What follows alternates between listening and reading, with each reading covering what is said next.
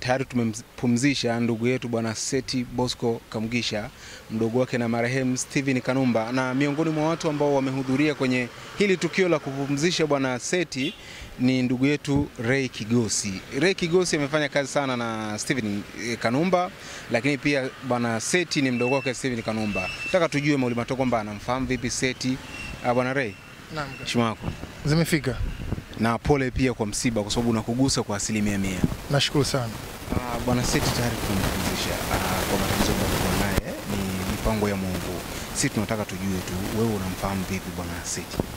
Uh, mi Seti nimemfahamu kupitia kwa uh, kaka yake uh, marehemu Steven Kanumba.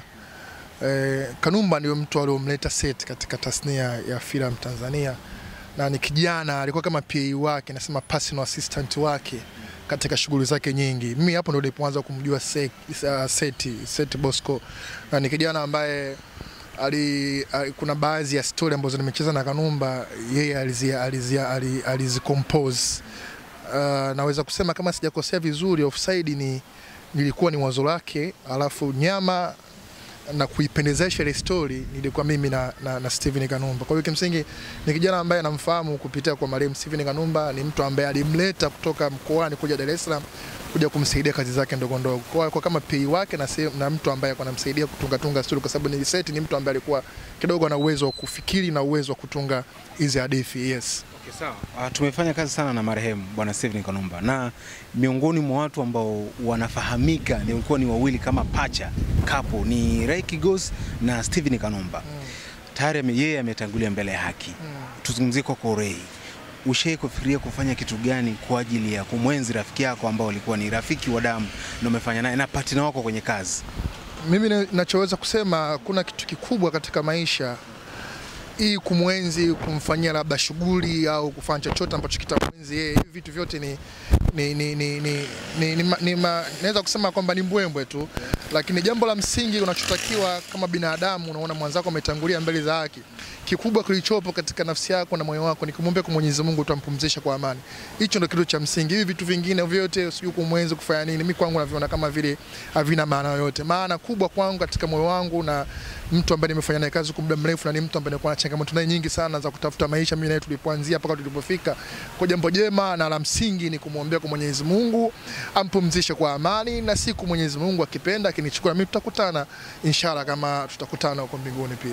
Uh, mama sasa hivi ameachwa peke yake na wewe ni mtoto wake Mm. kwa asilimia zote ni mtoto wako, so umefanya ni mtu wa karibu sana mtoto wake marehemu. mm. Una play part gani kwa sasa? Mama ni mpweke. Uh, nachoweza kusema ni vitu vingi. Unajua, sio kila kitu kuzungumza. Unapo, unapofanya kitu haipaswi kuzungumza mbele ya jamii. Toa kwa moyo wako, toa kwa nafsi yako, toa kwa uwezo wako pale ulipofikia kutoa, lakini sio kila mtu kumtangazia una play part gani kwake. E, naweza kuwa si play part kwake, labda kumpa hela, lakini kuna vitu vingi naweza kuvifanya behind bila watu wengine kujua. Mimi sioni sioni faida ya kutangazia umma nafanya kitu gani.